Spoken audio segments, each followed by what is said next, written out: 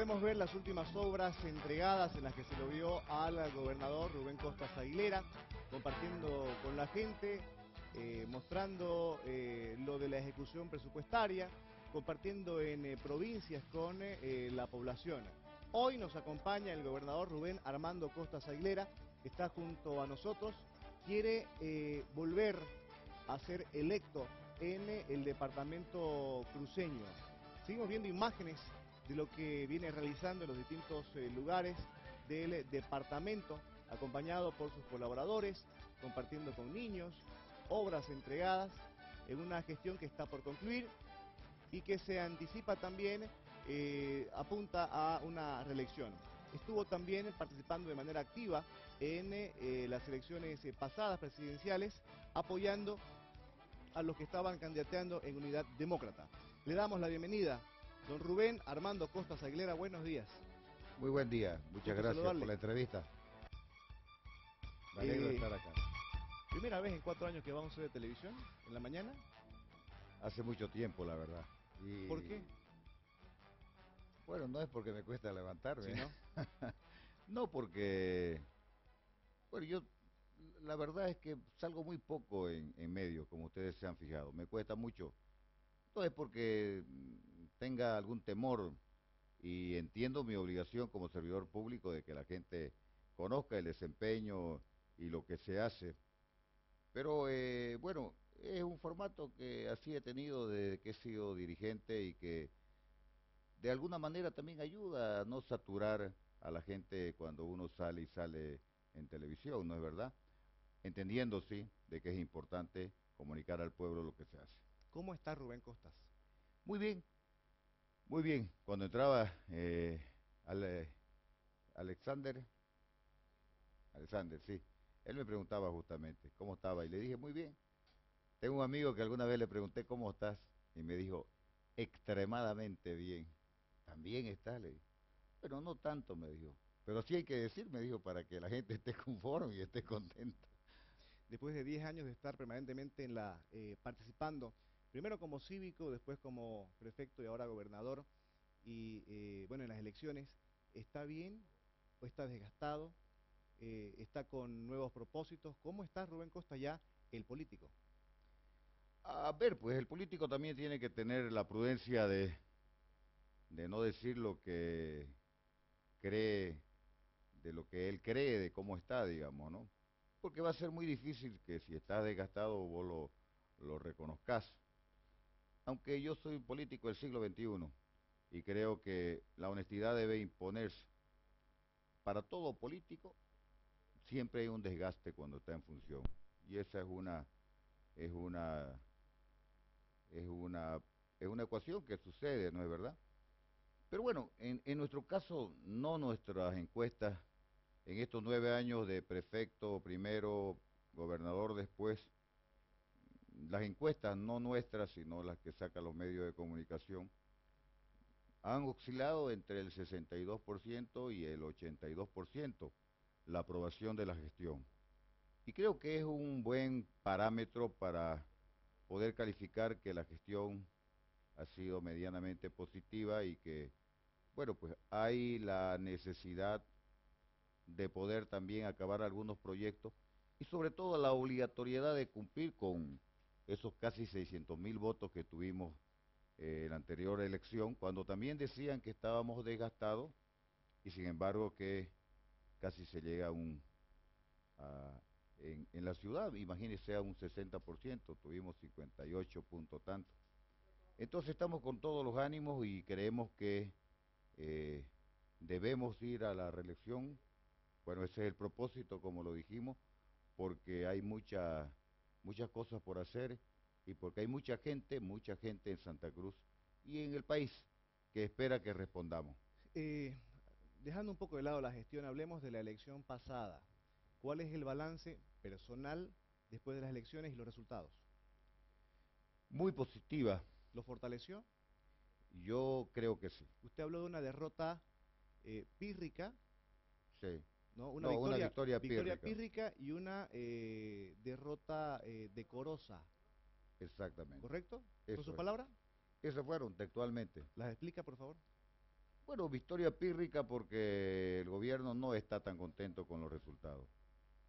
Puso toda la carne en el asador, despilfarró recursos. Lo escuchamos en el audio al presidente cuando habló del G77 y para qué, cuál era el, cuál era el propósito. 70 millones creo de dólares que gastaron ahí. Pero los resultados, los resultados fueron evidentes. No fueron el 70 y pico por ciento que querían, no es verdad, en el país.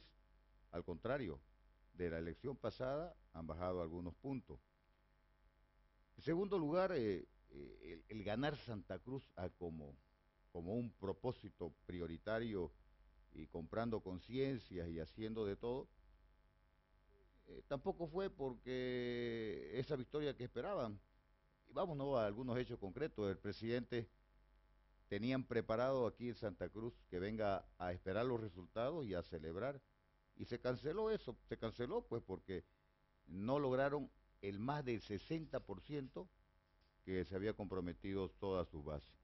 Esas son las victorias pírricas y como dijo una persona, si no consigue estos resultados, hablando de un tercer periodo que es difícil ya, con las condiciones y los indicadores económicos y lo que han ofrecido, a ver si lo van a cumplir. Entonces eh, va a ser, va a ser una, una gestión muy, muy complicada que la tiene. Y en cuanto al otro, yo dije, está bien, ellos van a ganar, pero van a ganar perdiendo. Y nosotros vamos a perder, pero vamos a perder ganando. Y hay cosas sintomáticas que hay que ver. Primero, no hemos cumplido un año como, movimiento demócrata social. Vamos a cumplirlo el 15 de diciembre, a propósito de eh, celebrar el Cabildo del Millón, el histórico ya Cabildo del Millón. El 15 de diciembre, Movimiento Demócrata Social hace su congreso fundacional en la Yacta, en Cochabamba. No hemos cumplido un año. Y fíjese usted, hoy somos la primera fuerza del país como proyecto político. Hoy es el único proyecto político que tiene representante en los nueve departamentos, incluso en La Paz. A propósito de estos resultados en Santa Cruz, eh, después usted dijo que el más nunca le ganó a usted en eh, eh, Santa Cruz. Lo dijo, ¿no? Bueno, esa es, eso, eso, es lo que ha, eso es lo que ha sucedido, ¿no? Deja un sabor como que se desmarca de la derrota del 12 de octubre. ¿Es así o...? No, no, no, no, no, no. Al contrario, porque si seguimos con la línea de lo que estábamos comentando, hay cosas que, por ejemplo, no, no se ha sabido, no se ha sabido lecturar. Ejemplo, eh, que le ganemos, que ganemos un, un diputado en la circunscripción indígena en Oruro, que es el departamento, y es un demócrata, nuestro amigo Santos, el que ganó. Que ganemos un senador en Potosí, Edwin Rodríguez, otro demócrata. Pero no solo eso, que ganemos la circunscripción de la ciudad con otro demócrata como Gonzalo Barriento y que le gane a, Joaquino, que era invencible, esos son hechos sintomáticos de lo que ya el presidente de la República ha dicho de que descuidaron por poner todo en el oriente y han tenido también una baja en el occidente. Y nosotros hemos tenido un crecimiento, no para tirar cohetes, pero importante hacia el occidente, cuando decían de que era inexpugnable para Rubén Costa, para el movimiento demócrata, que lleguemos al occidente del país. Permítame, gobernador, hay más preguntas para usted en esta ocasión de la gente, así que vamos a dar lectura, ¿le parece? ¿Cómo no? Distintos sectores. A ver, la primera pregunta es de una profesora. ¿Qué planes tiene para prácticamente exterminar con el tema de la inseguridad ciudadana? ¿Qué opinión? Cedes está matando Plan para acabar con la inseguridad ciudadana. Pero evidentemente ese es el problema latente y ese es el problema que angustia a la población cruceña. Y vamos a hablar de cosas estructurales, no vamos a hablar como hacen los políticos siempre. Bueno, vamos a hacer un gran foro y todas las historias que suceden siempre. Vamos a los hechos y a los números. El gobierno sacó un decreto hace dos años de que invirtamos el 10% del IDH. El primer año ya invertíamos el 30% del IDH, o sea, tres veces más. Y hemos invertido 10 veces más en estos últimos años. Y ustedes lo han visto. Hemos aprovechado el G77 para equipar a la policía con más de 100 movilidades doble cabina. Hemos aprovechado para comprar el equipo de comunicación más moderno que hay en Sudamérica, o uno de los más modernos, ¿no es verdad? Y así sucesivamente. Y sin embargo, ¿ha mejorado? No ha mejorado nada, porque nos han convertido en, eh, en colaboradores o en, ¿cómo se dice cuando se entregan, cuando se entregan cosas? Bueno, porque el hecho fundamental está en algo de que es el celo que tiene ¿Es este go- limitada la competencia para la gobernación? Ahí voy, justamente. Porque son proveedores de vehículos, ¿no? Es, esta es la- y además me, me quitó la, la palabra de la lengua. Somos proveedores a la Policía Nacional. ¿Mejoró la seguridad con este rol que le dieron? Absolutamente. Hemos ofrecido a la policía ¿Cómo, una... sería, ¿Cómo sería la seguridad con estatuto autonómico? Bueno, el, el, el tema, el, tema, el tema pasa porque, porque fíjese, cuando hacen la constitución nueva, al prefecto, que antes era prefecto y comandante departamental del ejército, y la palabrita comandante significa que el prefecto tenía tuición sobre la policía departamental y sobre eh, los militares acantonados en el departamento. Entonces, ¿qué hacen? Y fíjese que es una cosa que no se la ha analizado. El gobernador que es electo le quitan esa competencia de comandante del departamento. ¿Para qué? Para todo centralizarlo. Como no hay inventor que no se joda con su invento, y discúlpeme el término y la, y la grosería, pero ese es el dicho, ahí está lo que les pasó. Ahí está lo que les pasó por no delegar las funciones, por no dejarnos a nosotros que cumplamos el rol y la función que además nos corresponde. Y entonces han querido tener un gobernador de adorno, un gobernador que ni sabe las, la- la- la- las cosas que, la policía, que la policía hace, que no nos dan toda la información, por ese celo perverso de creer de que nosotros vamos a estar en conspiraciones y, esos complejos que siempre hay de parte de los gobiernos centralistas. Pero a lo que iba usted, ¿cuál es la solución? La solución, y lo vamos a hacer, porque cambiar la constitución, ¿no es verdad? Eso demanda otro trámite que es muy difícil. Y es fácil decir, cambiemos la constitución, ¿no es verdad? Y denos otra vez el mando de la policía. ¿Cómo no nos lo van a dar? Lo que vamos a hacer es hacer una guardia departamental de seguridad, como exige nuestros estatutos, y como en todo país, sea autónomo, sea federal o sea unitario, hay una guardia local. Y eso es lo que vamos a construir. Permítame, por favor, matar tres pájaros un tiro. ¿Le parece? ¿Cómo no? Hay tres preguntas eh, y se, eh, se van a aparecer de esta forma. A ver, ¿Qué opinión tiene usted cuando el CEDES está matando a los animales en algunos lugares donde estalla foco y de forma cruel? de por qué en estas dos gestiones hasta este momento no hay autonomía plena y absoluta. ¿Cómo se hizo mejorar la salud en el departamento de Santa Cruz? Es- tres preguntas. Muerte de animales. Pe- Empezaremos por, empezaremos por, para no olvidarnos, ¿por qué no hay autonomía plena? No seamos ingenuos, ¿no? Cuando peleamos por autonomía no creíamos que en cinco años íbamos a tener autonomía plena. Eso, esa historia nadie la cree. Y hay, y, hay una cosa que es muy, es muy, es muy sintomática, ¿no? Que si nadie creyó en la autonomía plena, No, pues, no me está entendiendo. Hay un proceso para llegar a la autonomía plena. Y le digo, nadie puede creer que en cinco años vas a tener autonomía plena. Cuando en España lleva más de 30 años, de verdad, y todavía tienen problemas, por ejemplo, con Cataluña y, otros y, otros y otras regiones autonómicas. Porque esta es una lucha de pelear competencias y recursos que no se hace solamente hágase la luz. ¿Me entiende, no? Es un proceso.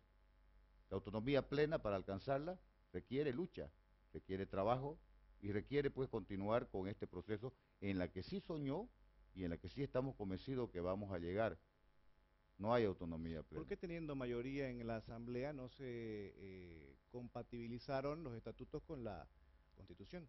Usted no sabe, por ejemplo, que esos estatutos, que se formó una comisión, se le dio recursos, que esa comisión estaba integrada por la oposición y por la y por la y por los y por los que teníamos mayoría, que se socia- socializaron en todas las provincias, que nos lo boicotearon esa esa socialización, la de haber visto, ¿no?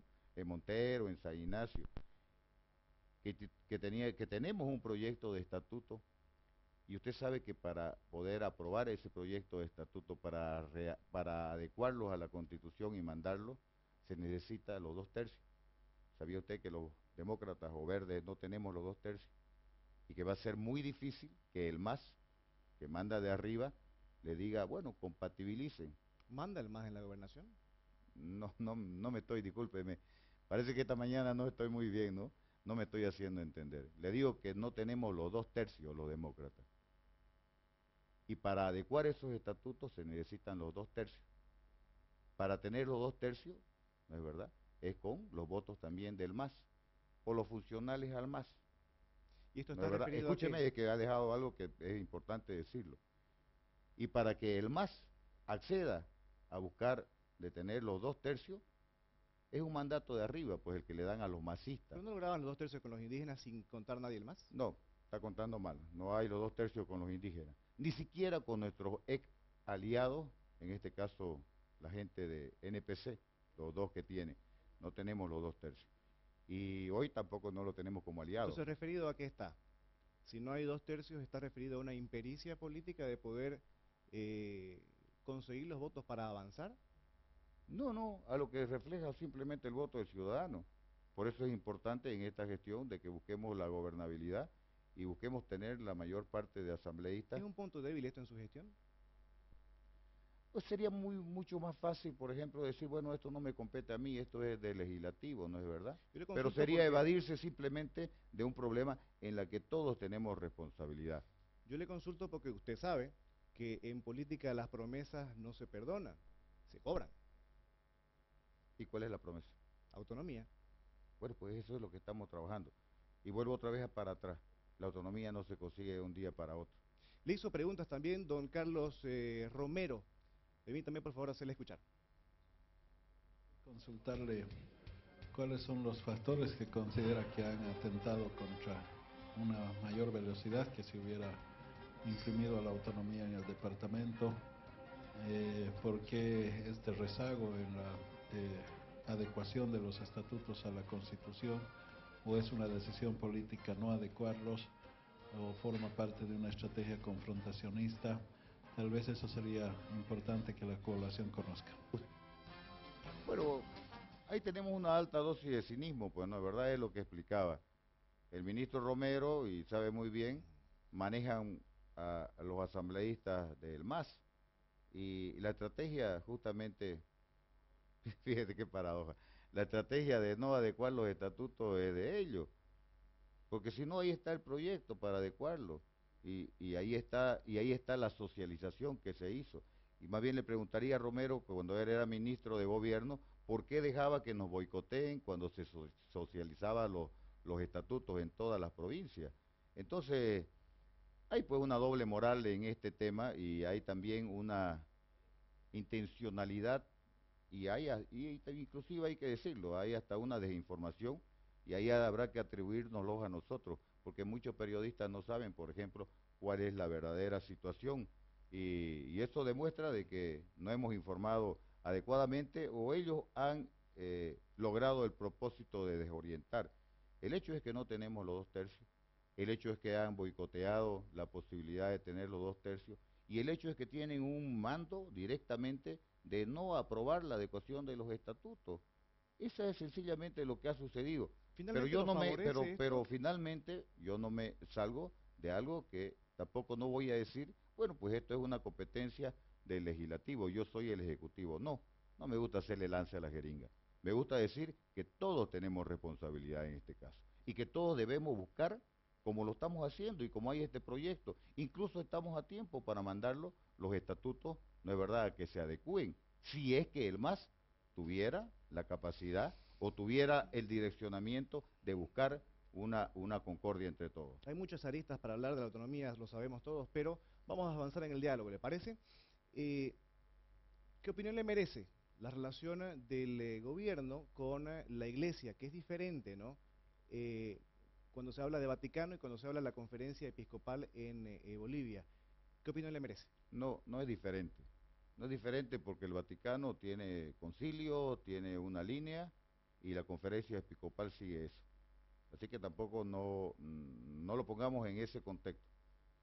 Y es muy fácil para el gobierno decir, bueno, pues ya tengo papa, solamente para buscar simpatizantes y atacar a la Iglesia Católica y ¿es atacar diferente? a la Iglesia Católica como se la ataca. Entonces, no hay diferencia en la doctrina social de nuestra Iglesia, Me no hay diferencia en lo que el, el Vaticano dice a través del Papa y en lo que sigue la conferencia episcopal de cualquier país. Me refiero al relacionamiento del gobierno con Vaticano con el gobierno con la iglesia en Bolivia. Porque en una reunión informal entre el presidente y el, eh, Papa se, nos, se mostró cordialidad, una amistad, una cercanía importante, eh, válida. Sin embargo, en la interna del país eh, solicitó cierta ayuda para eh, no poner en riesgo la ayuda social, la iglesia y el gobierno, y el relacionamiento se volvió a tensionar. Eh, ¿Por qué, según su interpretación? Yo creo que yo creo que hay mucho, como usted dice, hay muchas aristas en esta en estos temas que son fundamentales, ¿no es verdad? Eh, yo no creo que la relación del Papa sea también, bueno, pues el Papa siempre va a tener una relación cordial con todos los gobernantes y esa es su función, ¿no? Ahora la posición del gobierno nacional contra la Iglesia Católica y aquí no hagamos diferencia de la conferencia episcopal a la línea que da el Vaticano, que es la misma. Es muy clara. Entonces, vuelvo a decir, hay una doble moral cuando para ganarse la simpatía, por ejemplo, de un papa que está haciendo cambios, que se ha ganado eh, el cariño y la simpatía de todos, es muy fácil decir, bueno, yo estoy con el papa, pero no estoy con lo que él eh, pregona a través de la conferencia episcopal o a través de nuestra iglesia católica.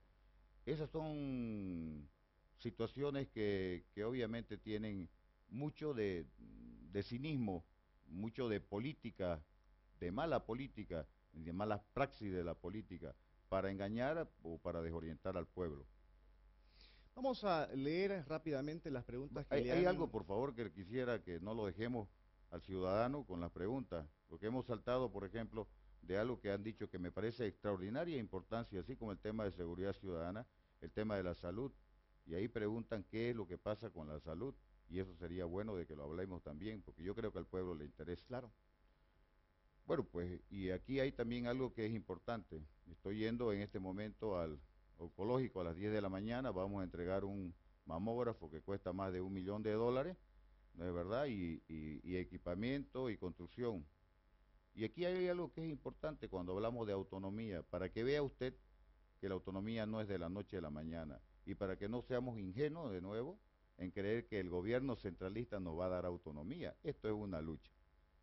Usted sabe que los hospitales de tercer nivel se caían a pedazos, ¿no es verdad? Usted se recuerda que se hacía huelga cada dos por tres los trabajadores de salud. ¿Se recuerda? Claro. Bueno, hace un año que el gobierno decidió que los hospitales de tercer nivel lo manejen las gobernaciones. Y mire esta autonomía al revés para su inventario. Nos traspasaron esa competencia, pero no nos dieron nada de recursos. Y la alcaldía de Santa Cruz, que tiene tres veces más presupuesto que la gobernación, tenía problemas con los hospitales de tercer nivel. Colorario, para no hacerlo largo, hemos invertido en estos dos años 700 millones de bolivianos. Hemos remozado los hospitales. Hemos hecho autonomía, pero autonomía al andar. Hemos puesto administradores en todos los hospitales de tercer nivel. Resultado, no ha habido una huelga de los trabajadores de salud en todo este año. Resultado, son pagados por primera vez los trabajadores de salud cada fin de mes. Resultado, de esos 700 millones, estamos equipando a los hospitales de tercer nivel con los equipos de última tecnología. Por decirle, este mamógrafo en el oncológico que cuesta más de un millón de dólares, es parte de el acelerador lineal que estamos trayendo que cuesta dos millones y medio de dólares. Porque ¿sabía usted que en el hospital oncológico tenemos una bomba de cobalto del año ñaupa, como decimos acá? ¿Sabe qué nos dijeron los especialistas? Saquen esa bomba. Esa bomba hace más daño que el cáncer mismo. Hemos aumentado la terapia intensiva en el San Juan de Dios, en el Hospital de Niños, en el, en el japonés, eh, y estamos comprando todos los equipos para que esos hospitales tengan como cualquier clínica o como cualquier hospital de Estados Unidos o de, o de, o de Europa. ¿Sabe cuánto es la inversión para ese ciudadano preocupado y además porque a la gente le preocupa tanto la seguridad ciudadana como el tema de salud. ¿Sabe cuánto es el presupuesto de la gobernación en salud? 30%. 30%. ¿Sabe cuánto es el presupuesto del gobierno nacional en salud? 4%. La inversión y el presupuesto más bajo de un país en Latinoamérica. Y esas son las cosas que estamos haciendo en salud. Y eso es importante. Lo del sede, para que no se quede en el tintero, yo tengo que decirle que amo a los perros. Mi pasión es el mío que tengo, Keeper. Me han visto muchas veces con él. No creo que el sede esté matando indiscriminadamente a los perros. Hay que prevenir también enfermedades como el tema de la rabia y, los perros, pero también, pero para ser también honesto, no sé específicamente cuál es la función y cuál es el trabajo que está haciendo el SEDE en esa denuncia que hace ese ciudadano de que hay un maltrato a los... Pero voy a tomar eh, información sobre el asunto. hace poco hubo campaña en el oncológico para una sala de terapia intensiva eh, y se la dan a veces de compañeros los, los eh, los médicos porque indican de que no hay atención a este tipo de, necesidades. ¿Hay posibilidad de que le hagan una, una, sala de terapia intensiva? ¿Sería la primera en el país? Bueno, esto es lo que le estaba comentando. ¿Está programado? Estamos aumentando la terapia intensiva, hemos aumentado, no estamos con promesa. Había problemas también en el banco de sangre, indican que es. muy caro, bueno, pedían que se subvencione. Eso eso es, es gracias, gracias. El gobierno dijo de que era Pero por tengo es que me, me, acoquina de preguntas. Y es ahí donde y es ahí donde no hay respuesta. Eh, primero, ya le he comentado de que hemos aumentado la terapia intensiva en el Hospital de Niños, en el San Juan de Dios, en el, en el petrolero, en el, perdón, en el japonés. Hoy vamos a inaugurar instalaciones también en el oncológico y seguimos trabajando para preparar que ese, ese hospital sea un hospital realmente de referencia en cáncer y, en eso estamos trabajando. Ves que, ves que soy, soy bastante no soy memorión. Otra pregunta que fue importante que me hizo ahí, ah, el tema del hospital de sangre, de la, del, de, banco de sangre. De, sangre, ¿no es verdad? Bueno, se lo está manejando muy bien eh, y hoy voy a hacer un anuncio, un anuncio. Es primicia ya que me habla del tema de la sangre. Hemos decidido que los niños que no, están cubiertos hasta los 5 años por los seguros, ¿no es verdad? Pero de 5 años a 15 años no tienen seguro. Entonces, toda situación de enfermedad, de, de accidente, de lo que se necesite, transfusión de sangre, la gobernación cubrirá. No pagarán un solo centavo en el tema de sangre. Es decir, 100%. El 100%. De 5 a 15 años habrá un seguro infantil. No es un seguro, lo va a cubrir la gobernación. O sea, cuando ya el, niño no sea, eh, cuando ya supere la edad del SUMI. Exactamente. esa es la idea, ¿no? Así es del Seguro Universal Materno Infantil. Eh, es una buena noticia. Eh, no todos los días tenemos al gobernador, le agradecemos su tiempo y vamos a abusar de él otra vez. Tenemos preguntas del Face, habíamos anunciado. Eh, las vamos a leer todas, por favor, y vamos a responder algunas en lo puntual, por favor. Esto es lo que dice la pantalla. Alejandro Arce, gobernador, ¿cuál diría usted que es la mayor virtud del modelo de gestión pública desarrollado por la gobernación durante su gestión. Puntualísimo, por favor, la respuesta, gobernador. El 50-40-10 es la autonomía al andar, son más de 1.100 obras, es la participación, es la inclusión y es la decisión de los municipios para hacer autonomía. Siguiente pregunta, por favor, estamos leyendo el Face. César Fará, ¿qué le motiva a postularse para una nueva gestión a la gobernación? Porcentaje de apoyo que tengo, el cariño de la gente y esto que hemos logrado, pues últimamente, ¿no? Este, de que hemos constituido el primer proyecto político que sale de Santa Cruz con visión nacional y hay mucha gente que apuesta a eso. Vamos a ver las siguientes preguntas, por favor. Camila Vanegas nos dice, quiero que el gobernador responda a estas preguntas. ¿Por qué invierte solo en provincia? ¿Por qué hasta ahora no tenemos el 100% de cobertura agua y luz? ¿Por qué recién en estos últimos días aparecieron críticos a cómo se distribuyen las regalías. Época electoral, consulta ella. Vamos a seguir leyendo. Eh, JP Soto Flores dice, mucho se habla del modelo 50-40-10. La oposición a su gestión la critica. Sin embargo, tengo entendido que la gobernación de Santa Cruz es la única del país que ha establecido este esquema de distribución de regalías consensuado, obteniendo buenos resultados. ¿Necesita ajustes o no es necesario? Dice Sandra Alcócer pregunta, ¿de qué forma ha tenido que optimizar los recursos para lograr una mayor cobertura en agua, luz y caminos, pese a ser oposición del gobierno? Vanessa Justiniano pregunta, ¿por qué ya no gobierna con las mismas ganas que eh, llenaba de carajo y orgullo a los cruceños, de coraje? Por, eh, eh, dejó que los habitantes de esta tierra ya no confíen en su gestión, ¿por qué dejó que yo y muchas personas que fuimos parte del Cabildo del Millón, de personas de esta tierra, deje de creer en usted como nuestro gobernador? Delia Valencia pregunta, lo, le pediría que trabaje no solo para los ricos, sino para las personas pobres. Yo nunca lo vi en las provincias, peor aún en los eh, campos, ya que hay mucha necesidad. Gracias, Dios lo bendiga. Juan Ricardo Rocabado pregunta, dos preguntas concretas. Una, ¿cómo ve a Santa Cruz dentro de cinco años con su segunda gestión ya cumplida? ¿Y para cuándo la remodelación del Tawichi, que tanta falta hace un estadio de acorde al crecimiento de la ciudad y del departamento? Son las preguntas de la gente, gobernador. Harta, ¿no?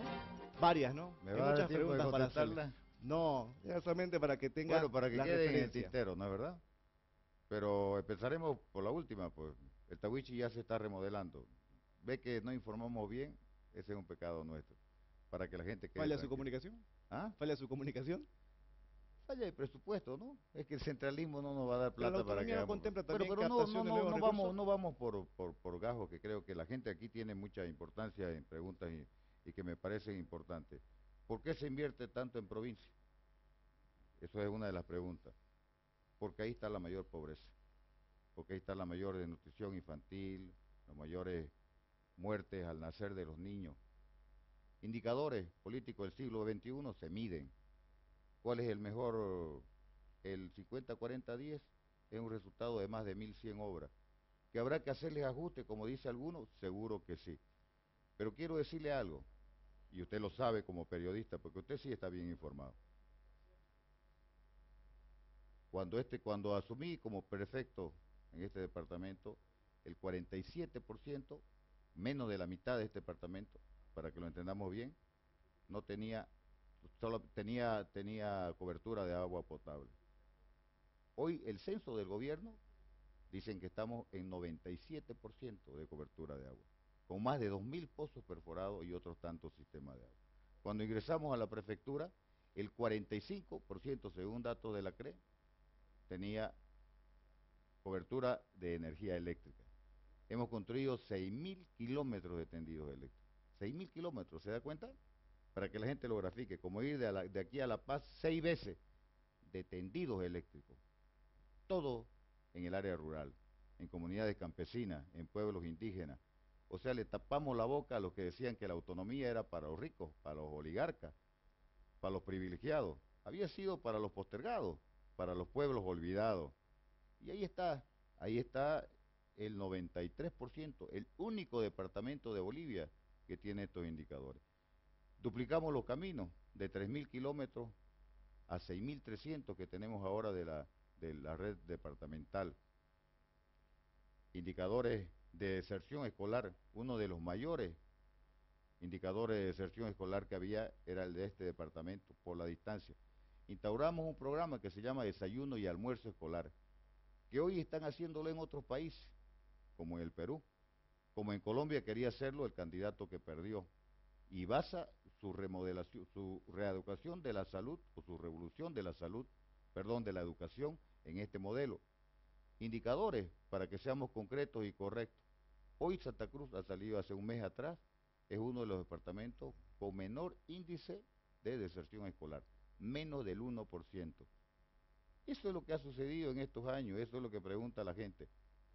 Eso es gestión. ¿Por qué, por qué, por qué no, por qué no, no vuelve otra vez a, los, a, a tener el coraje? ¿Por qué está a Carajazo? Eh, El Carajazo tiene que darse en el momento adecuado y en el momento preciso.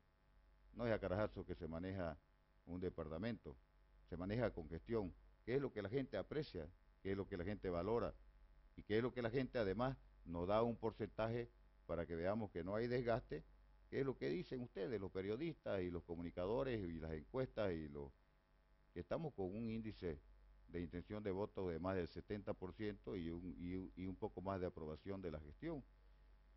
Y eso nos da la responsabilidad de volver, de volver otra vez y cumplir, cumplir lo que dice la Constitución. Constitución que nosotros no apoyamos, pero como demócrata, hoy, fíjese qué paradoja, ¿no es verdad? Hoy nosotros la defendemos, porque somos demócratas, porque por ella votó el pueblo. Y la que la impulsaron y la que la crearon, esta constitución, mire, mire usted, mire Sí. usted, está al revés, son los que la perforan y la violan cada vez. Nos queda corto el tiempo, gobernador, para hablar de tantos temas que nos gustaría conversar. Eh, esperamos que en otro momento también acuda a nuestra invitación. ¿Será así? Sí, porque aquí sí algo ha quedado develado, ¿no es verdad? Que no hemos cumplido bien el tema de informar a la gente. Y eso siempre lo digo. Pero también hay que, no por, no por pretexto, porque no me gusta poner pretexto. Si hace algo bien el gobierno, no bien. Bien mal, es agarrar y usar los recursos para bombardear de publicidad, para bombardear de, y eso y esa maquinaria que tiene electoral, ¿no es verdad? Y usando los recursos del Estado. Bueno, lastimosamente todavía el centralismo cuando mandamos nuestro POA para que para la parte de comunicación no lo recorta porque sabe que no le conviene que la gente conozca lo que está sucediendo en este departamento. Bien. Pero no pueden tapar los indicadores. Tiene que ya- haber ajustes en la comunicación, eh, sobre todo en la gobernación, no se preocupe, no, no malinformamos, no nos deje así. Eh, No, hablemos estoy- de fútbol para irnos, ¿le parece? yo Póngase estoy de pie, por estoy- favor. Yo estoy hablando de, de la comunicación nuestra. Claro que sí. Eh, viene el clásico, gobernador. Eh, yo sé que usted es futbolero, hincha de Destroyers, De Destroyer de Racing y de Racing. y de Racing Club de Avellaneda. Bueno, como Medio- destroyano, Medio, medio mala suerte en los dos lados. me da mala suerte. Bueno, eh, en este clásico de domingo, ¿se atreve a apoyar alguno de los dos colores más rep- representativos de Santa Cruz? No, no porque sería pecar a... Yo soy destroyano y, y, y- y- y un destroyano de verdad pues no, no, no, no va a ser hincha ni de Oriente ni de Blooming, va a ser de Destroyer. Y en todo caso, este el clásico cruceño este lo podemos ver más tranquilo, sin necesidad de... ¿Va a la cancha el domingo?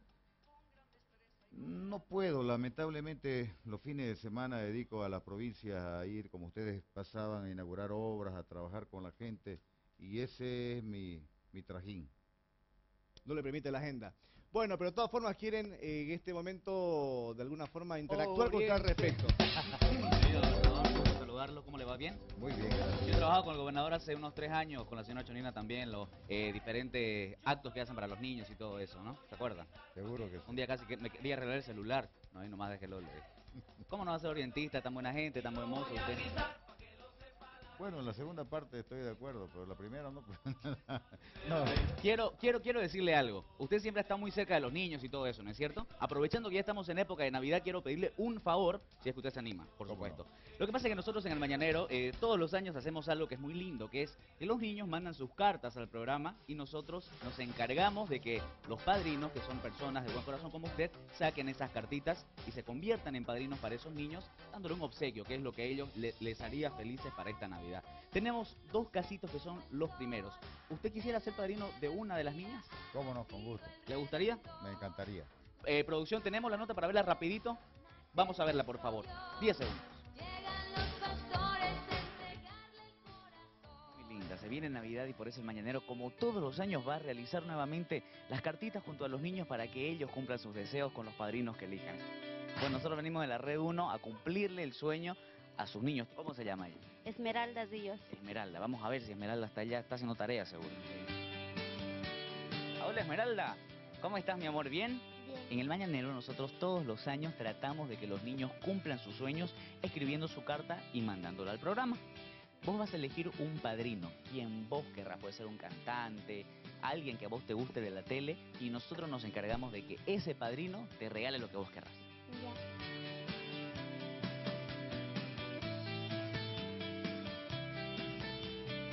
Mi amor, ya estamos terminando el trabajo. Sí, ¿Te gusta cómo está quedando? sí. ¿A quién vas a elegir de padrino o madrina? A Martina Oriana. chicos de bigote, ustedes son los primeros padrinos elegidos.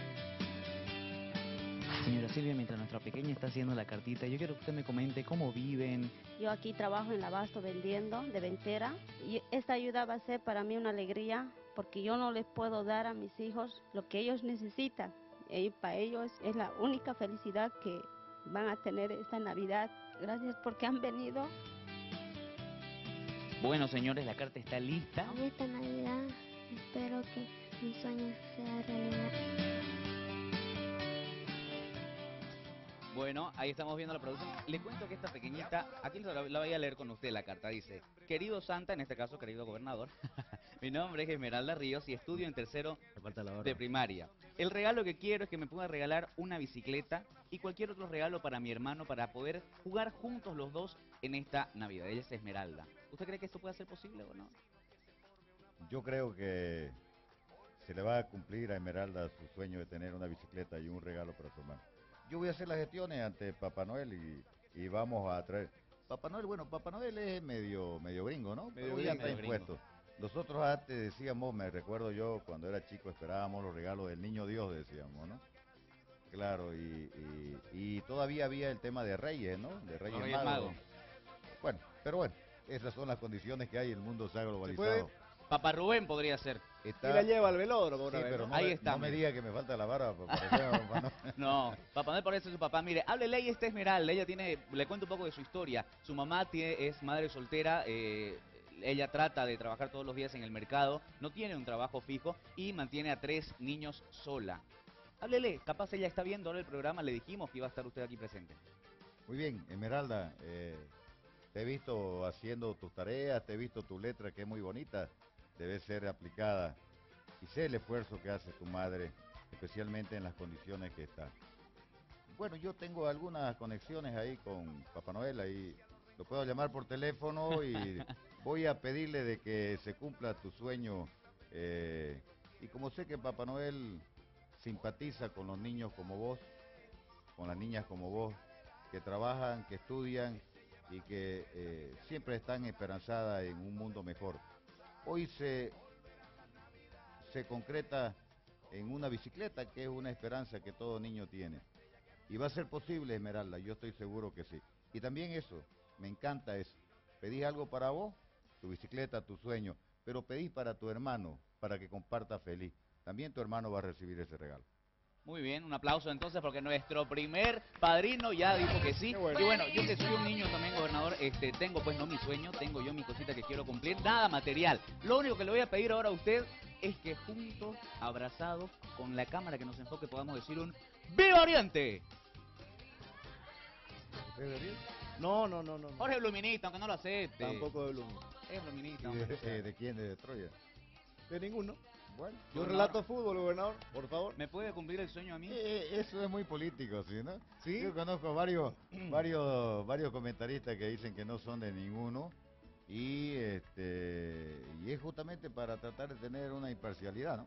Pero bueno, también Saludable, es, parte ¿no? la- es saludable. Saludable. Debe tener esa imparcialidad el, el comentarista, me parece. Pero fíjese usted, si usted dice soy de Destroyer, no se va a enojar ni los Orientes ni los Claro. Así que ¿Ya me quiere Y si convencer? usted dice Viva Oriente, tampoco se van a enojar los luministas. No sea malito. Conmigo, ahí abrazado. Uno, dos y tres. ¡Viva Oriente! y viva Blooming.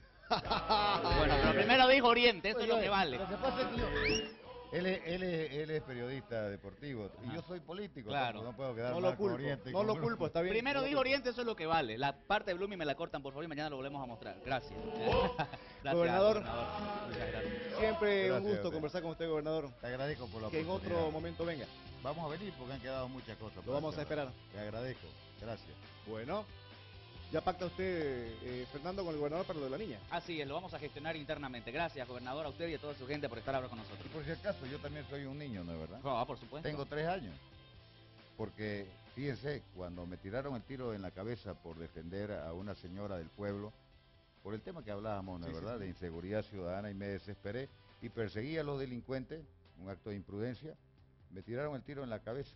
Y fue eh, justamente el día del niño. Y ese día para mí volví a nacer. Así que no tengo más que tres años. ¿Qué quiere que pedir en esta Navidad?